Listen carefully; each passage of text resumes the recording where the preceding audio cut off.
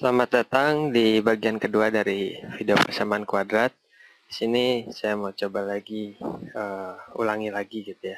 Saya di sini sekarang mau coba uh, agak pelan-pelan supaya kalian bisa paham sebelum nanti kita lanjut ke soal yang lebih susah.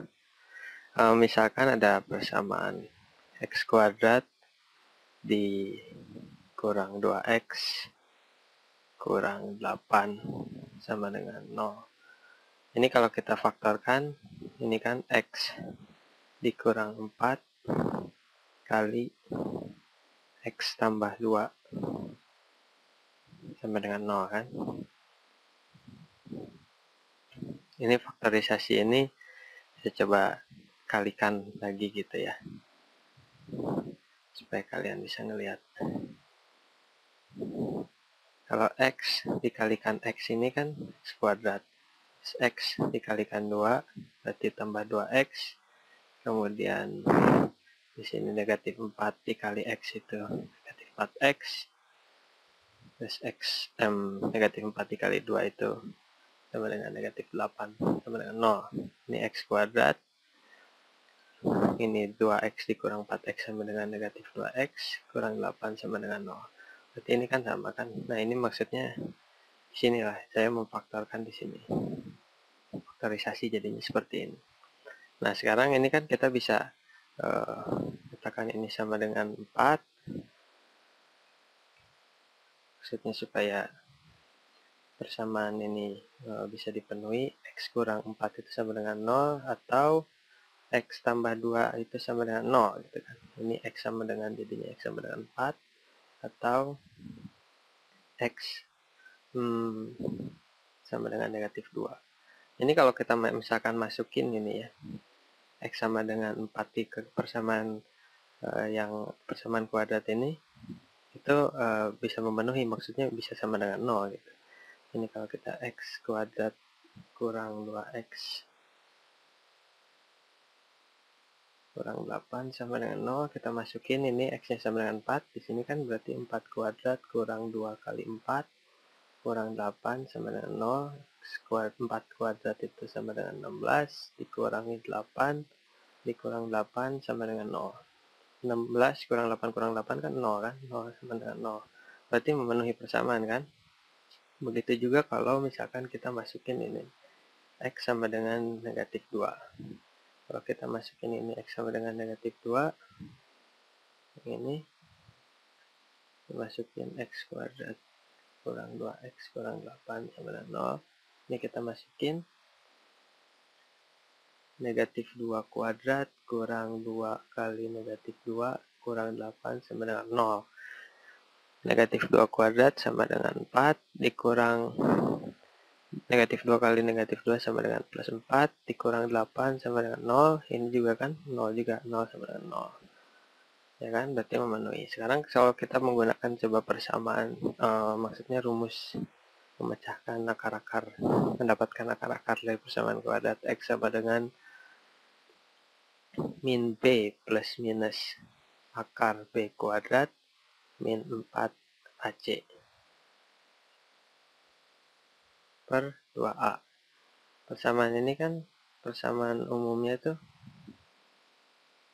ax kuadrat tambah bx tambah c gitu kan kalau misalkan ini dimasuk dilihat persamaan ini a nya itu sama dengan berapa? A nya sama dengan satu kan? Terus b nya ini b nya negatif 2 kan? Yang ini b nya kan negatif 2 kan? Kemudian c nya sama dengan negatif 8 nah kalau kita masukin a b c ini ke persamaan ke rumus ini, kita bisa dapat sama dengan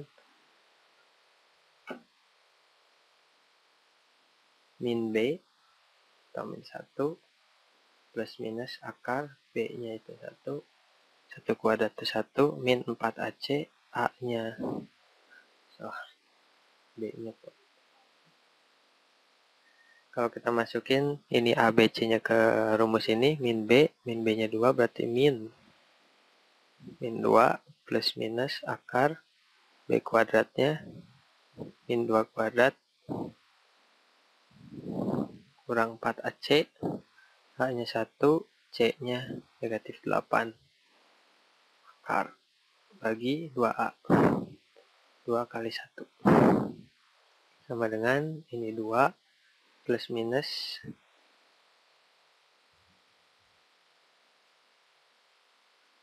akar 4 kurang 4 kali 1 kali negatif 8 sama dengan plus 32 kan? Akar bagi 2 sama dengan 2 plus minus akar 36 per 2 ini X sama dengan ini kan ada dua nih plus dan minus kan? X yang pertama saya buat X sama dengan 2 plus akar 36 akar 36 itu kan 6 kan? Bagi 2 sama dengan 8 per 2 X sama dengan 4 atau X sama dengan 2 kurang 6 akar 36 bagi 2 sama dengan negatif 4 per 2 sama dengan negatif 2 jadi di sini X-nya negatif 2 dan X sama dengan 4 ini kan sama kan sama yang ini hasilnya. X sama dengan 4 atau X sama dengan 2. Ya. Sekarang kita coba uh, ke yang sedikit lebih sulit. Di sini kita misalkan 9, negatif 9x kuadrat kurang 9x tambah 6 sama dengan 0. Di sini kita tahu A-nya sama dengan negatif 9, kemudian B-nya sama dengan negatif 9, yang ini kan B-nya, kemudian C-nya, C sama dengan 6. Kita masukin ke persamaan ke rumus ini, cari akar-akar dari persamaan kuadrat, min B plus minus akar B kuadrat min 4AC per 2A sama dengan min B nya. 9 plus minus akar B kuadrat. Negatif 9 kuadrat 81 kan? Kurang 4 dikali A negatif 9 dikali 6 akar bagi 2 kali A. 2 kali negatif 9 ini sama dengan berapa? 9 negatif negatif 9 kan? Terus plus minus akar 81 negatif 4 kali negatif 9 itu kan 36 terus dikali 6 lagi dikali 6 kali 6 36 6 kali 3 18 tambah 3 21 216 berarti ini plus 216 akar. Dibagi 2 kali negatif 9, negatif 18. Pindah ke sini. Ini X sama dengan 9 plus minus akar 81 ditambah e, 216 berarti 217 tambah 8 297 akar per negatif 18 Nah, solusinya adalah X sama dengan 9 per 9 plus akar 297 per 18 negatif 18 atau X sama dengan 9 kurang akar 297 per negatif 18 kayak gitu kan ini solusinya. Ya, seperti itu.